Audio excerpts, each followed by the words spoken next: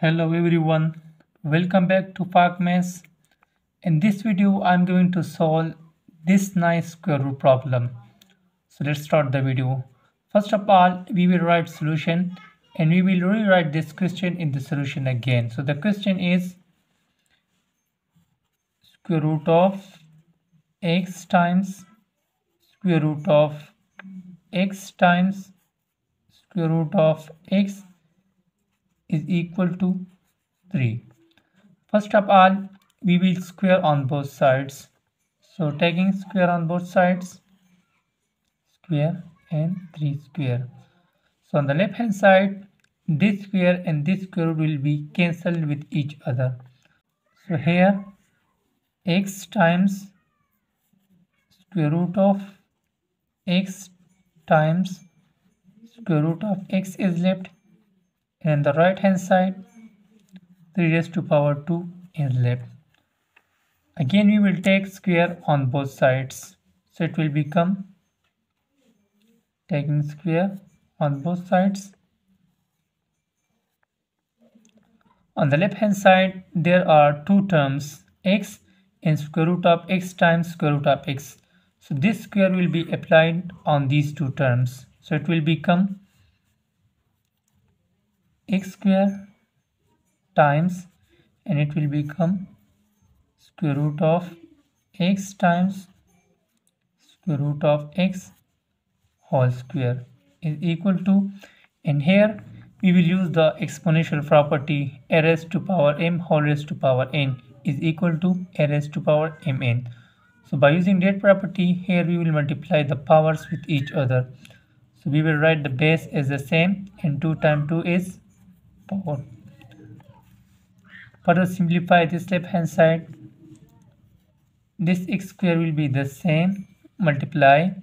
And again this square and this square root will be cancelled with each other. So only x times square root of x will be left is equal to this side will be the same. 3 raised to power 4 now again we will take square on both sides to eliminate this square root.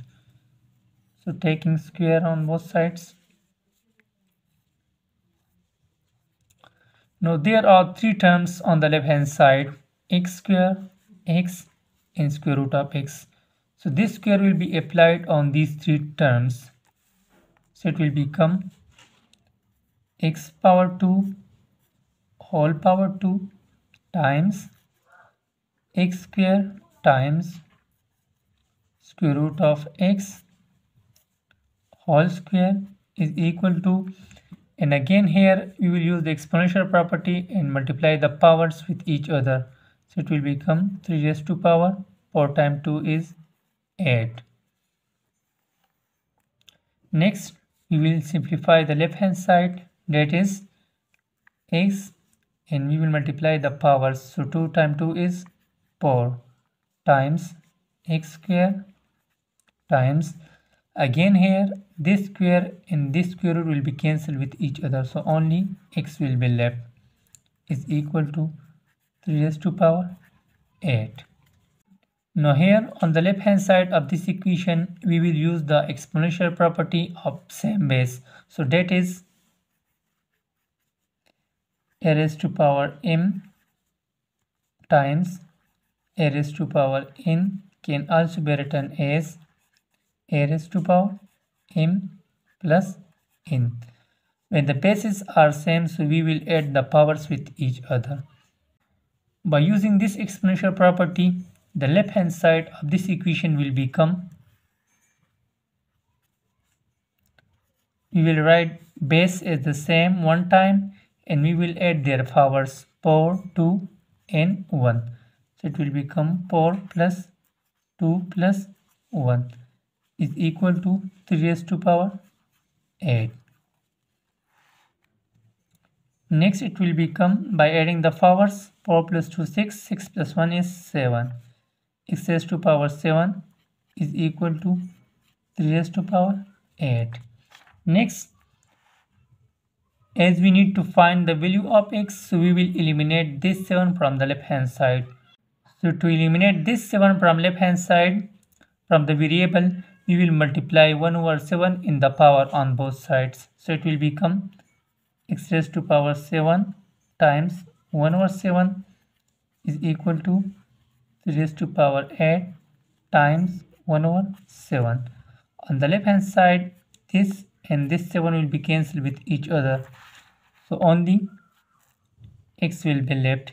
And on the right hand side, the powers will be multiplied with each other. So 8 times 1 is 8 divided by 7. Now, this is an improper fraction.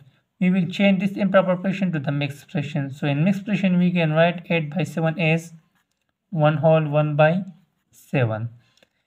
We can also write 3 raised to power 1 whole 1 over 7 as 3 raised to power 1 times 3 raised to power 1 over 7. By adding these two powers, it will give him again 1 whole 1 over 7. So next we can write this side as x is equal to 3 times and we will write this term as 7 root of 3 7th root of 3 so this is the required answer of this nice root problem. Thank you so much for watching. Take care. Bye bye